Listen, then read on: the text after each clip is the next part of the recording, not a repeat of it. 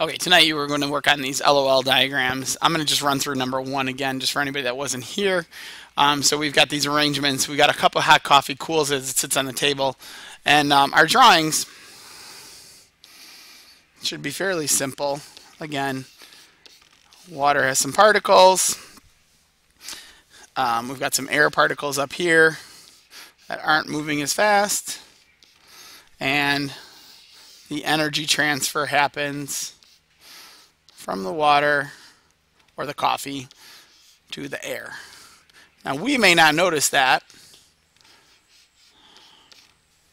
because we are, um, you know, the air is, it's a big room, but if we had it in that tight container, it would transfer all that energy to the air.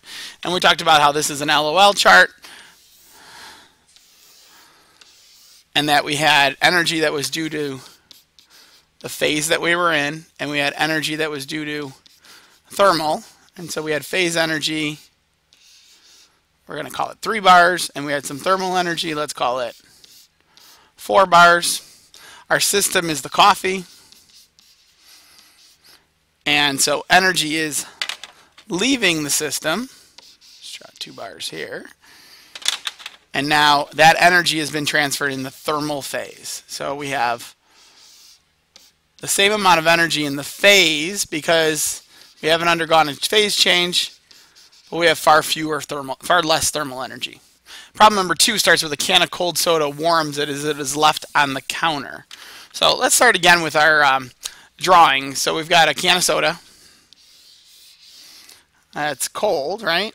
And so we've got, and it warms as it's left on the counter. So again, these particles are moving slower. And we've got some air particles outside of the can. And we've got some air particles that are outside over here. And we also have some, and let's just make them different. We also have some water particles that are over here. Now, I don't know that I would expect everybody to get this, but I'm kind of doing this for a reason. Um, and I'll talk about that in just a sec. So what happens to the can? Well, the can becomes warmer. The contents of the inside of the can become warmer afterwards. So they are moving at a faster rate, right? The temperature's gone up.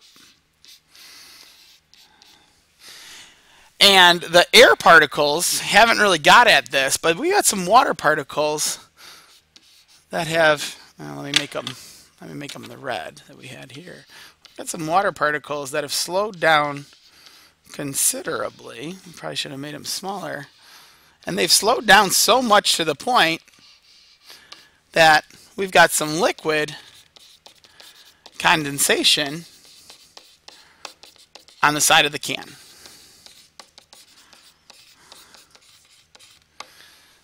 And I think that that's significant, you know, in that these water particles that were previously moving pretty quick are now slowed down to the point that they've actually formed a nice layer of water on the sides of the can. So the air particles haven't really changed too much and you guys can draw all those air particles. I drew a lot. And there's not a lot of air particles that are changing. They might be slowing down a little bit. But they're not changing that much. We probably should show them moving a little bit faster, those air particles. And eventually, the air particles, the air particles and the contents of the can will eventually reach um, an equilibrium and they'll be at the same temperature. So now let's take a look at this energy, energy bar chart. Again, we haven't lost anything and we're looking at this perspective of the soda, right? So again, we've got our phase, and we've got our thermal.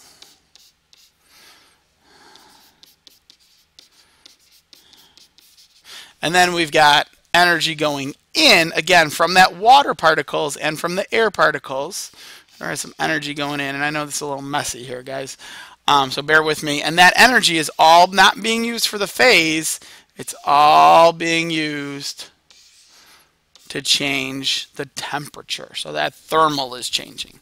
And you guys can fill in the drawing part or I should say the description of the drawing part.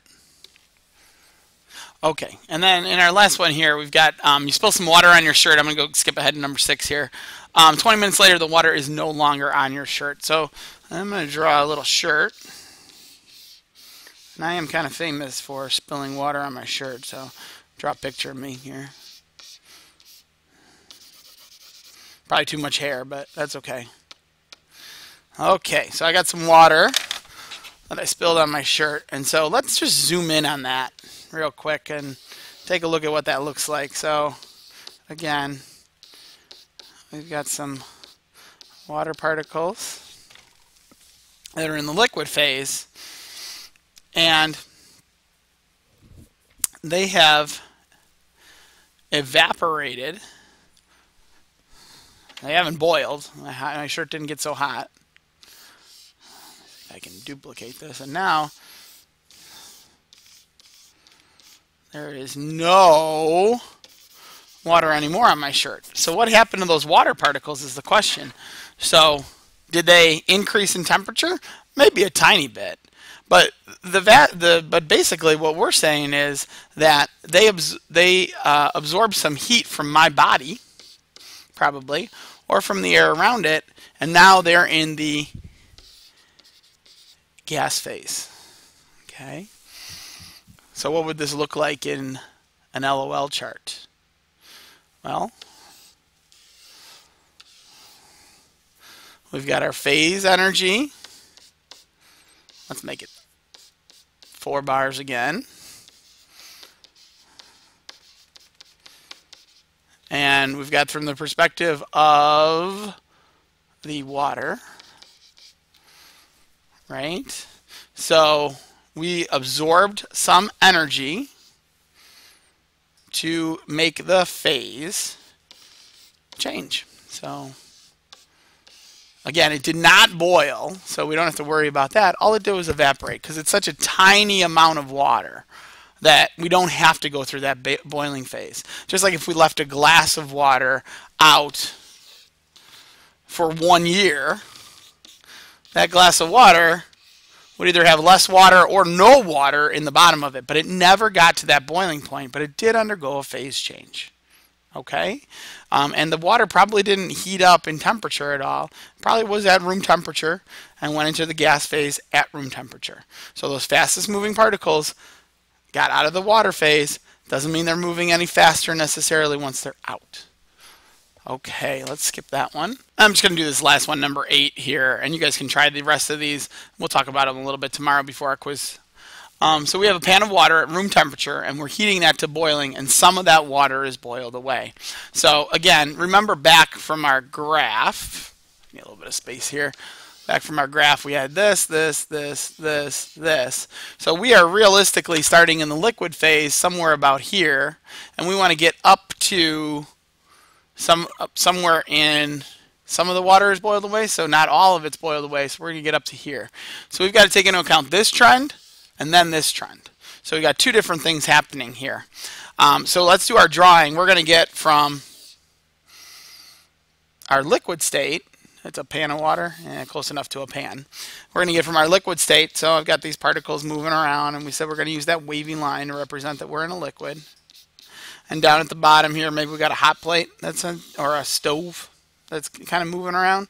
And we've got a heat transfer of some really big particle, really fast moving particles here over here that are transferring their energy to the liquid.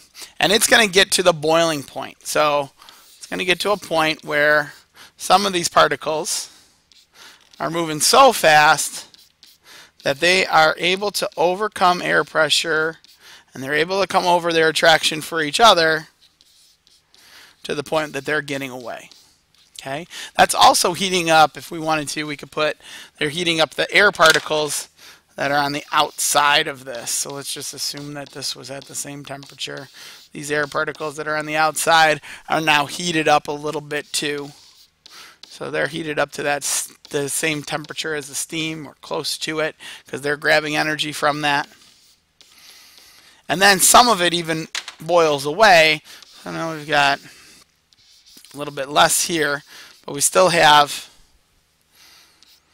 we have a little bit fewer particles down here, but we still have, and we got a lot more particles out here. I think that's right. One, two, three, four, five.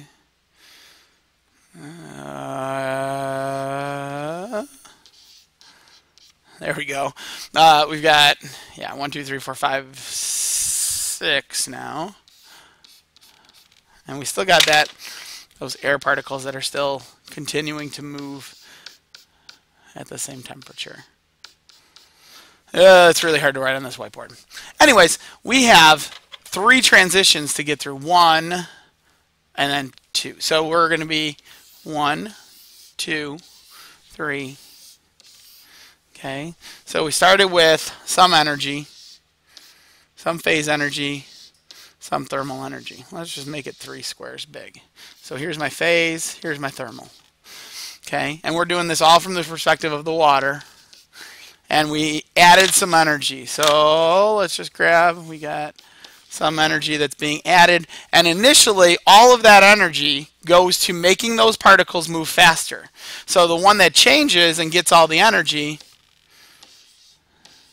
is right there, right? My phase energy didn't change, but my thermal energy did. Those particles did move faster, okay? And again, now we're looking at this from the perspective of the water, uh, and we could say and the steam, but let's not involve that. Now I added some more energy, not enough to make all of it boil away, but enough to make some of it. So let's erase that and just make it one block big. And again, just trying to make it sure that we see these things happen. So let's make that one block big. This time, we started with our, we started with that, but we're going to add that block to the phase energy. Okay? And then you can describe your drawings in there. Uh, I hope this helps. Um, I will see you guys tomorrow. Don't forget we got a quiz. Um, the other part is going to be the math, which is the specific energy stuff. Um, we'll do one practice problem probably to start tomorrow, talk about a little bit of this, and um, see how we do. Okay, have a great night.